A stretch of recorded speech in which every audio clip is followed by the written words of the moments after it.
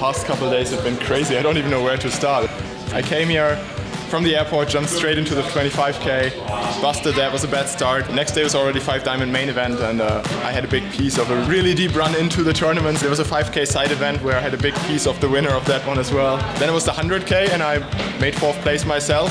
And after I busted, I actually went straight over to Aria, played a 10k, won that one, so I'm kind of on a really good run. Uh, right now we're at the PokerGO studio and next to Aria and we're playing the uh, 300k Super High Roller Bowl.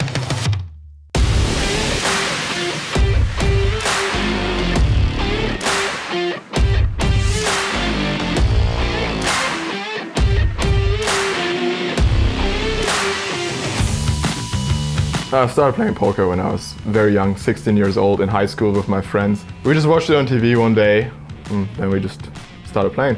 I was just happy playing, you know, 2,000 euro tournaments, but basically what changed for me was that one year uh, there was a really good 25k at a PCA. Played against a bunch of people that I thought weren't that good, so I figured why not just play all of them.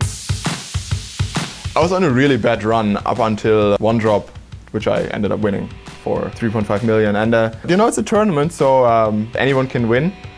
Basically, when I won that tournament, a lot of people came to me and said that was about time that I won something. I was probably the biggest loser in 100Ks, 50Ks for, uh, you know, two, uh, two years.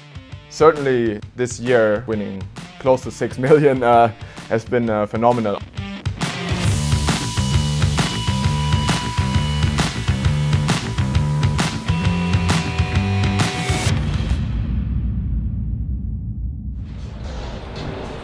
lost my stack first hand. But thankfully they give you three stacks, so it's all okay. Hi Igor, what's up? No. the high rollers are basically just a bunch of people that travel the world and uh, we meet at different stops and play against each other. Sometimes this guy shows up, you know, sometimes those guys show up, but in general the core group is always the same. Yeah, for people like me, it basically only makes sense to play the highest events. People pay you a lot of markup just to show up, so basically sometimes you just get paid 10k just to show up at a tournament, and that's nice.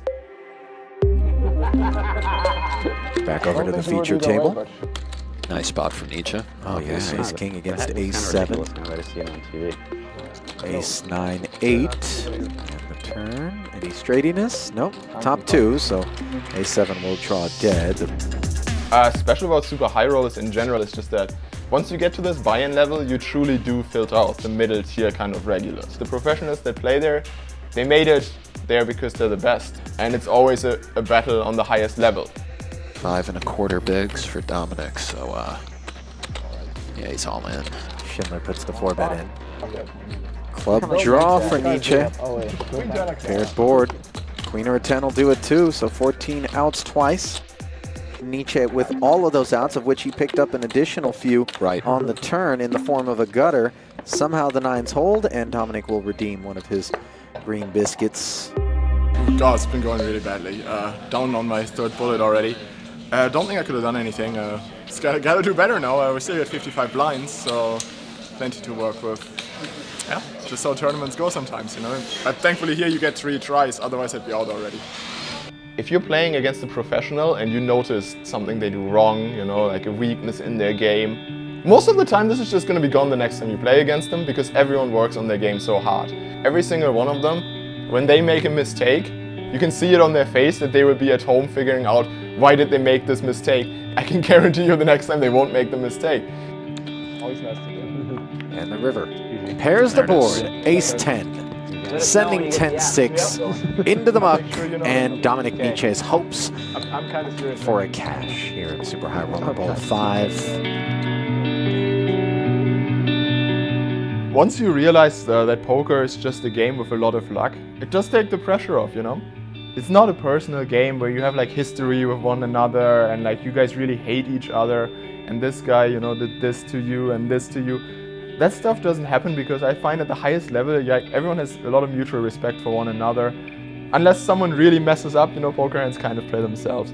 Uh, and if you study hard, you, you work hard on your game, you're gonna be so much more relaxed, you know? You're gonna be pulling that trigger on a bluff. You don't care because you know it's a good play. That's the main thing I wanna stress here is that poker is not personal. Basically what happens now is that you gotta work harder for a smaller progress there's only so much you can fit into your head as a human being, you know, there's, there's a limit to how good we can get at this game. obviously I've matured as a person. I've, I've been playing for, you know, 12 years now and uh, I'm a different person. If I put in like 10 hours of study now, it's only gonna get me so much better. But for me, I'll tell you what, that's the really fun part. You know, that's I'm loving the game. It's just fun for me to figure this out, you know?